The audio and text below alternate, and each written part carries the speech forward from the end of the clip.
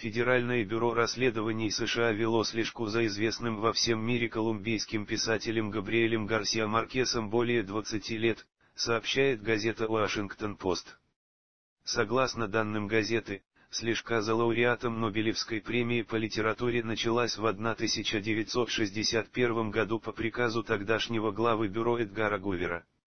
В то время 33-летний Маркис приехал в Нью-Йорк вместе со своей женой и сыном, чтобы работать в новостном агентстве Пренса Латина. Газета ссылается на рассекреченные документы, полученные от ФБР, существование которых ранее не афишировалось.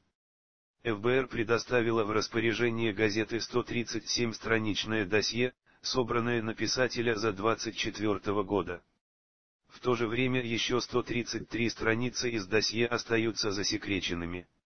Возможно, в них содержится информация о том, по какой причине власти США вообще начали наблюдение за известным писателем. Родриго Гарсия, сын писателя, отметил, что члены семьи никогда не замечали слежки за собой или за отцом, но при этом он не был удивлен данному факту.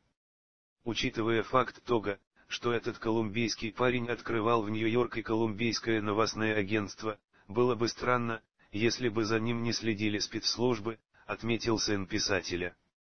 Маркис скончался 17 апреля 2014 года в возрасте 87 лет в Мехико, где жил на протяжении более полувека. Писатель-прозаик, журналист, издатель и политический деятель, Маркис стал лауреатом Нобелевской премии по литературе 1982 года. Представитель литературного направления магического реализма и корифей латиноамериканской и мировой прозы 20 века, он является автором всемирно известных книг, таких как «Сто лет одиночества», осень патриарха и полковнику никто не пишет.